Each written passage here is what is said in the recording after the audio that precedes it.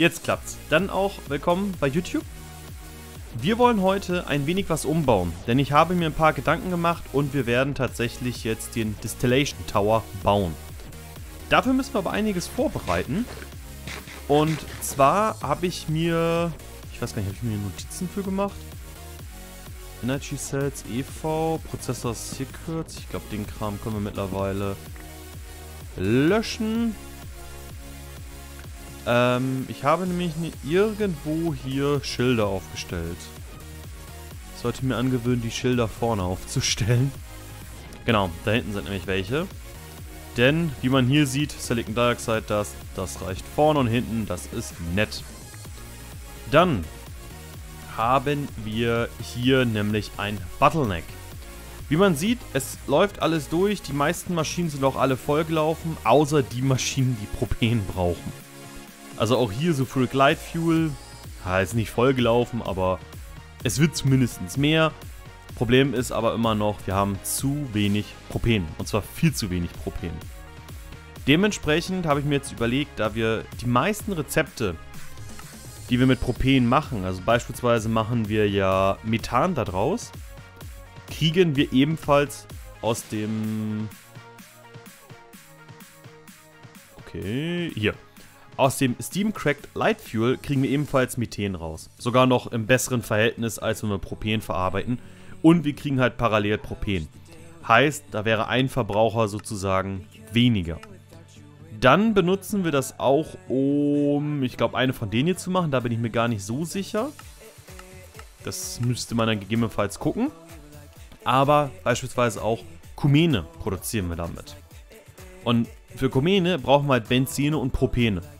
Heißt, wir brauchen eigentlich äh, sozusagen Steam Crack Light Fuel doppelt oder wir benutzen die Distillation Tower. Also mit anderen Worten, Distillation Tower hat den Vorteil, dass wir uns diese Bottlenecks sozusagen sparen. Apropos Bottleneck, das Ding hier kann weg. Das haben wir nämlich leer.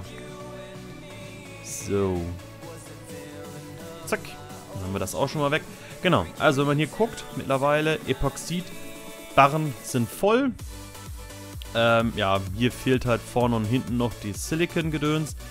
Das ist auch tatsächlich nicht mehr der Fall, äh, das Problem. Ah, genau, die ganzen Zickets sind nämlich alle durchgelaufen, ohne Probleme. Also, ein paar Probleme hatten wir, aber jetzt nicht so schlimm. Ähm, aber, was ich wohl drauf hinaus wollte, wenn wir den Distillation Tower aufbauen, haben wir das Problem, dass wir theoretisch volllaufen können irgendwann. Hatten wir ja schon mal die Diskussion. Wer schreibt mir jetzt in Discord? Ah, okay. Ähm, genau, also da haben wir theoretisch das Problem, dass es irgendwann vollläuft. Dementsprechend müssen wir uns da was überlegen. Ich habe mir da schon ein paar Gedanken zugemacht. Wir müssen halt gucken, ich sag mal, was wir hier am effektivsten reinschmeißen. Sieht mir ehrlich gesagt nach Light Fuel aus. Ähm, ja, Light Fuel. Und Light Fuel wird aus Sulfuric Light Fuel. Genau, und das ist dann einfach auch wieder ja, so ein paar, drei, vier verschiedene Sachen kriegen wir hier auch raus. Wenn wir hier Öl reinschmeißen, würde ich dann auch darüber höchstwahrscheinlich machen. Aber wie gesagt, da fehlen uns ein paar Sachen für. Als erstes würde ich aber gerne das Ding, einfach damit es halt alles weiterläuft, sage ich jetzt mal. Ja, wobei eigentlich das jetzt auf EV upgraden wäre dumm, weil der fällt eh weg demnächst. Ja, auf jeden Fall, wenn wir halt schon mal eine Infrastruktur aufgebaut haben, um die Sachen sozusagen zwischenzuspeichern, habe ich mir auch gedacht, dass wir diese Anlagen hier, die sozusagen eine Flüssigkeit immer wegschmeißen, auch umbauen werden. Zwar haben wir das jetzt erst vor kurzem gemacht. Ja, gut, stimmt. Hydrogen ist halt auch viel zu langsam. Ähm, also wir haben es halt vor kurzem schon gemacht. Aber ähm, ich würde dann halt gerne sowas wie Oxygen, Hydrogen einfach mit reinpumpen. Hier Light Fuel, da kriegen wir immer Hydrogensulfide raus. Ähm, ich meine sogar, diese Anlage hier haben wir doppelt. Wenn mich nicht alles täuscht. Ja, oder hier alle anderen Gase außer Liquid Air, dass wir das halt wegschmeißen, ist halt alles ein bisschen blöd. Ja, genau hier. Phenol schmeißen wir weg, Acetone behalten wir. Hier ist es, glaube ich, genau andersrum. Genau, also hier haben wir beispielsweise auch. Wir haben eine Maschine, die Phenol und Aceton bringt, aber wir haben es doppelt aufgestellt und schmeißen halt immens viel weg. Und ich möchte generell weg von dem Löschen. Ich habe mich bis jetzt immer so ein bisschen davor gesträubt, weil wir brauchen halt drei Storage-Busse pro Flüssigkeit, äh, drei Busse pro Flüssigkeit mehr. Werden wir gleich alles sehen, was wir da brauchen. Aber, ähm, ja, mir ist da tendenziell eine Lösung für eingefallen. Das erste, was ich heute aber gerne machen möchte, ist die Drawer hier unten umbauen. Und zwar nervt es mich massiv, dass wir durchgehend produzieren, obwohl wir es nicht unbedingt brauchen. Und vor allem ist auch das Problem... Ja, wobei... Ich bin jetzt gerade so am überlegen. Weil meine Idee war, dass man quasi ein neues ME-System baut, also ein komplett unabhängiges ME-System, was hier einfach nur einen Importbus ranmacht und quasi dann einen Storage-Bus an einem Drawer-Controller, der sozusagen alle hier ansteuert sozusagen. Weil mir war das ja eh schon ein Dorn im Auge, dass wir hier so viele verschiedene Drawer haben und überall und nirgends Drawer und es war nervig. Sagen wir es mal so. Aber mit den, der Idee, die ich hatte, können wir einfach nur einen Drawer-Controller benutzen. Und am Ende dann halt an dem sowohl ein Storage-Bus von dem weißen System, als auch das externe System sozusagen. Aber ich bin jetzt gerade nochmal wieder am überlegen, ob das so gut ist. Ähm...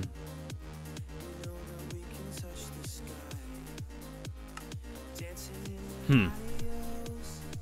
Weil an sich Vorteil wäre halt, wir würden Stahl nicht verbrauchen, wir würden Aluminium nicht verbrauchen. Also wir würden halt viele Sachen nicht durchgehend produzieren. Aber ich weiß nicht, ob das so sinnvoll ist jetzt gerade, um ehrlich zu sein. Ich glaube, ich würde es aber trotzdem umbauen. Ja, einfach weil ich es auf Deutsch nicht mag, wie es gerade ist. Mich nervt das ehrlich gesagt ein bisschen. Ja, wir werden es umbauen. Heißt, wir brauchen neue Kabelarten. Und ich habe mir gedacht, dass wir einfach, weil wir es jetzt eh schon haben, die schwarzen benutzen. Das heißt, wir brauchen das Ding. Wir brauchen äh, Tunnel. Wir brauchen Importbusse. Ähm, wir brauchen einen ME-Controller. Haben wir sogar noch. Und wir brauchen eine Cell. Ja, wobei, da sollte eigentlich ein Pile reichen. Ja, hier so eine Tier 3 Pile sollte da locker ausreichen. Gut, das heißt, wir müssten hier unten ein Drawer-System aufbauen. Und ich bin gerade am überlegen, wo wir das am besten machen. Und im Endeffekt, das Ding hier wird dann auch zu dem anderen Kabel. Tatsächlich. So ist zumindest gerade die Idee. Hm. Draw Controller, ein Framed Drawer. Äh, ich muss sowieso demnächst neue Drawer bauen, sehe ich gerade. Ähm.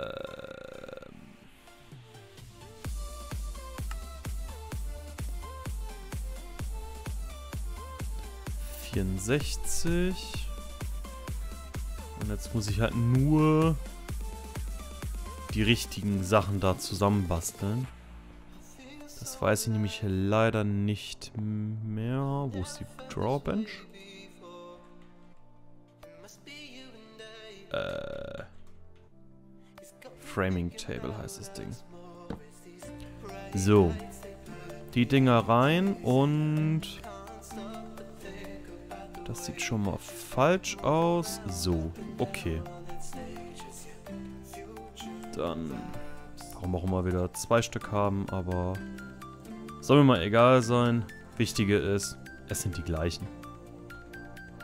Gut. Dann... Ja, wo setzen wir das hin? Hier ist ja sozusagen der Hauptknoten.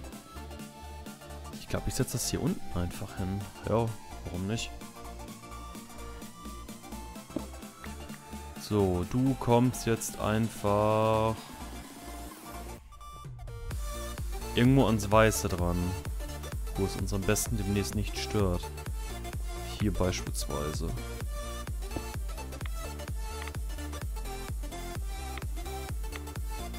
Okay.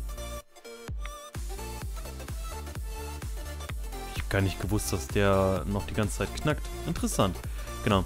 Hier würde ich dann jetzt auch, sobald wir haben, die Tier 6 Zellen einbauen. Unterschied zwischen Tier 6 und Tier 5?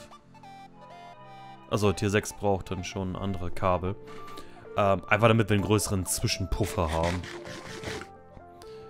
So. Das heißt, ich würde jetzt, glaube ich... Ja, wie mache ich das am besten? Also auf jeden Fall wird das Kabel hier mal kurz umgelegt. Weil das nervt mich gerade.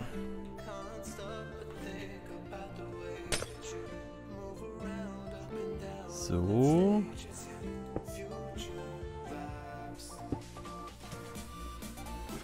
Ähm, ich hoffe, ich mache jetzt nicht alles kaputt. So. Nee, warte.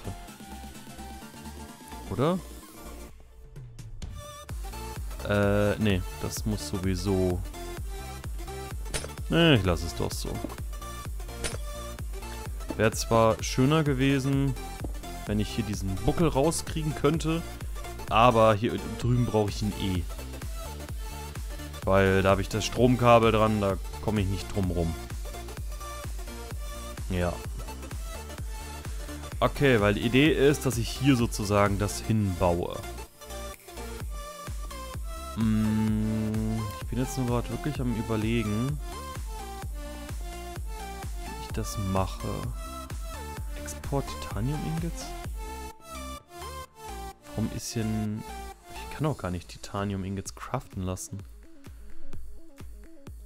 Okay, das scheint irgendwie noch eine Altlast zu sein. So, das kommt schon mal weg. Ähm, genau. Dann kommt hier quasi das andere Kabel ran. Das heißt, wir brauchen eigentlich nur hier ein Kabel. Na. Für den Strom. Ergo könnte man auch... Da kriege ich den Channel...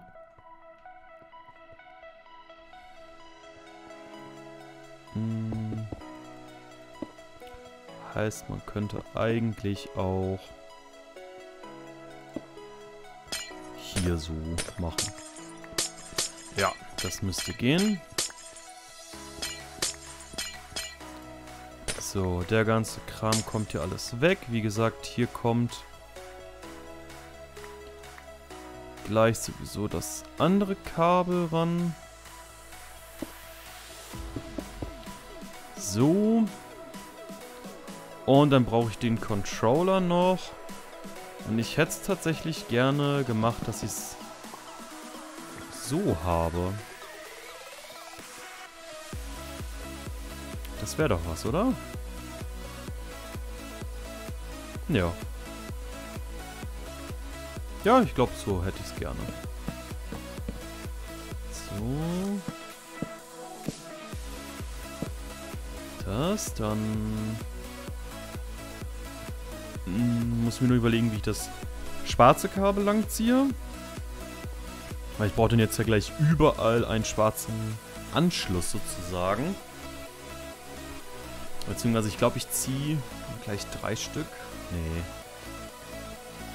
Ich glaube, zwei sollte reichen.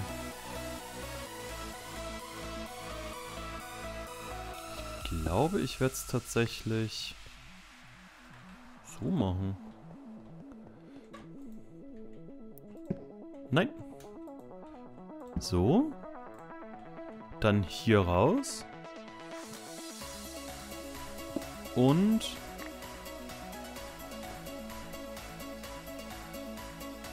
Hm, wobei, genau in der Ecke hätte natürlich auch was. Also ich will halt ungern jetzt für den Strom da noch einen extra Anschluss machen. So hätte ich es tatsächlich gerne gemacht. Controller. So, dann kann ich nämlich ein Dense Cable da lang ziehen. Muss ich mal gucken, wie ich das denn hier hinkriege, aber das ist eine andere Geschichte. Weil ich glaube nicht, dass wir mehr als 16 Stück hier in einer Reihe hinkriegen werden. Und selbst wenn, dann kann man immer noch neu bauen. Und dann kann man sozusagen das zweite Kabel... Ähm... Ne, warte, wir haben ja drei. Das heißt, ich brauche doch zwei Dense Cable eigentlich am besten. Gut, aber dann könnte man im Zweifelsfall...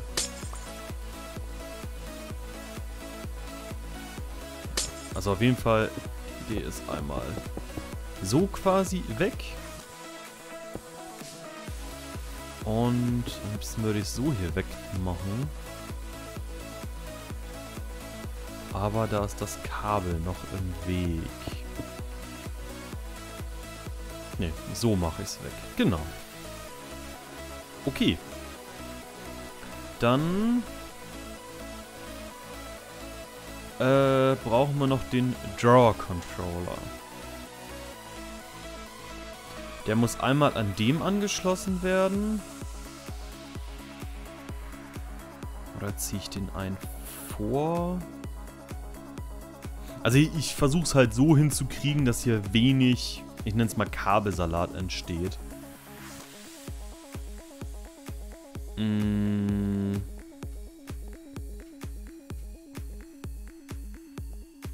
Ja, wie mache ich das am besten?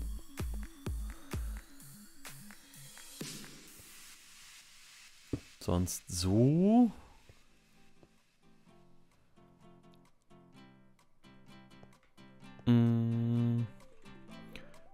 Könnte ich quasi den hier machen. Und habe ich keinen Storage Bus mitgenommen. Und von hinten den hier. Ja, sollte so doch funktionieren, oder nicht? Gut, dann ähm, müsste ich so gut wie alles umstellen. Äh, hier bitte Extract Only.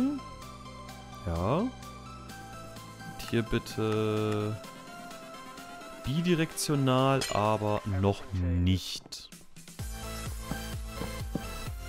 Da wir ansonsten hier demnächst sehr viel Wirrwarr haben werden. Weil ich würde die Sachen einfach an einem, Neu einem Storage-Bus sozusagen hier anschließen und einfach importieren lassen. Fertig. Also sozusagen hinten einfach überall Importbus, ein paar Karten. Und fertig. Da muss ich nur mal überlegen, wie ich die abreiße. Das heißt, wir machen jetzt hier einmal den hier.